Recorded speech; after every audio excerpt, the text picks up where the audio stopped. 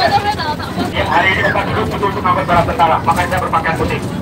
Bukan untuk gaya-gayaan, ini untuk mengembalikan kenangan zaman Belanda. Ini orang Belanda tentu pakainya seperti ini. Dan inilah satu-satunya Belanda yang tertinggal. Ruang beragu rempah-rempah. Dua alasan itulah stasiun Ambarawa berdiri 21 Mei 1873. Jadi stasiun Ambarawa baru 151 tahun. Belum, belum, belum lama. Baru 100 Di Gerbong juga baru, belum lama. Baru 130 Ambarawa stasiun aktif mulai dari Semarang sampai ke Yogyakarta. Dan ini loh Pak, gerbong yang dipakai zaman dulu. Dan terima kasih, tepuk tangan buat Bapak Ibu semuanya. Yang sudah menikmati Orang Belanda ini bangun stasiun Ambarawa, batu yang nempel di dinding di stasiun Ambarawa langsung diambil dari Belanda. Makanya nanti turun foto di belakang batu yang ada di Ambarawa yang dari Belanda. Bikin video. Sorry ya, aku bersama keluarga sekarang ada di Belanda. Dulu namanya? Bukan stasiun Ambarawa. Siapa? Presiden pertama. Bernama William Maka stasiun Ambarawa terkenal dengan stasiun William Dan Ambarawa satu aktif mulai dari Semarang sampai ke Yogyakarta. Padahal waktu tahun 76 sepi ditutup. Tahun 76 karena ada transportasi baru. Kemudian kegiatan wisata ini dua tahun kemudian. Tahun 1978 sampai sekarang. Ini tantangan dari saya doa dari saya buat semua yang hadir di sini panjang umur, sehat semuanya, minum kopi di dalam gelas, rezekinya lancar deras. Wajah-wajah Sebastian masih ada. Wajah-wajah tahu Sebastian? sebatas teman belum ada kepastian. Mudah-mudahan segera dapat BPKB ya, doa dari kita semuanya. Apa itu BPKB? Buku pernikahan kalian berdua. Hari ini Bapak Ibu naik kereta diesel. Suatu saat nanti insya Allah ada rezeki gampang kabar sewa yang hanya tiga negara. India, Swiss, Indonesia. Apa? Wow. Hanya satu pengen naik kereta itu harus sewa. Berapa sewanya, Pak? Nah, sebelum kita bicara tentang sewa, kita lihat proses bisa jalannya gimana. Contoh, ada pengen naik jam 7 pagi. Jam 3 udah disiapin, Pak. Kenapa? Karena dia harus tembus air satu tangki, 6 ribu liter. Bangun pagi, ngopi sambil nyanyi, masak-masak sendiri, ngopi-ngopi sendiri. Butuh 4 jam,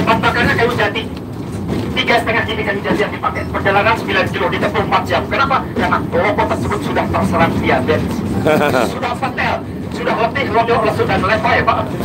Karena usianya baru 122 tahun. Nah, baru Pak. Apa itu? Aku, ini udah nyampe. Nanti kita lanjutkan lagi ya. Nah, hati-hati kita akan memasuki terowongan, kepalanya agak menunduk sedikit. Sekali lagi ya, Bapak Ibu, kita lanjutkan nanti ceritanya. Oh iya, aduh, nanti bagus ya Bapak. Oh di sini juga nggak apa-apa. Nanti Bapak lebih bagus lagi. Yo. Oh iya lah, mau calon calon masinis. Itu anal. Itu. Seluruhnya kalau Jawa Barat, Jawa Timur ini. Enak.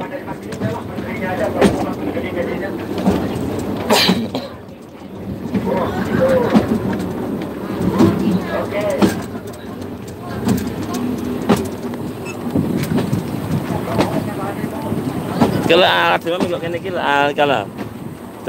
minggu lama ya mah.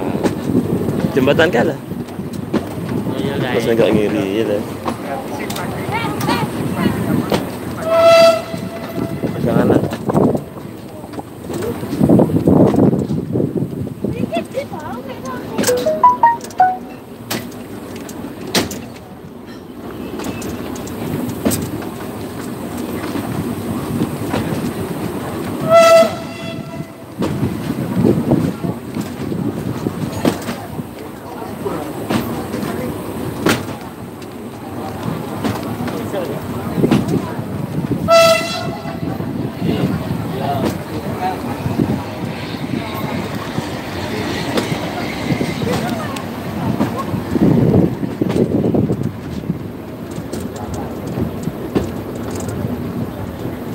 Mancing mania mantap.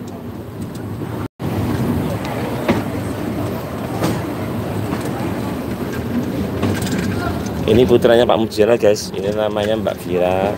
Ini namanya Mas Ali. Ali. Kita dari terowongan Jalan Raya Semarang Salatiga. Tuh guys.